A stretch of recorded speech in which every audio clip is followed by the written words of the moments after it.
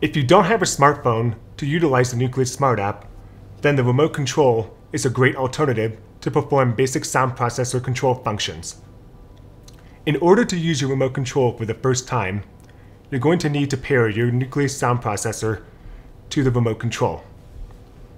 You'll take your Kanso 2 processor and touch it to the back of the remote control, ensuring that the remote is on. You will see an icon that indicates it's paired. Once paired, you can control your sound processor. These buttons here change your programs, and these buttons here change your volumes. If you have a wireless accessory paired to your processor, you can do a long press of this gray button, which will show the accessory icon. This indicates you're now streaming through that wireless accessory. If you have multiple wireless accessories paired, go ahead and press this again, and it'll switch to the next available wireless accessory. Once you're done streaming, do a quick press of the gray button to make the accessory icon disappear. That's the remote control.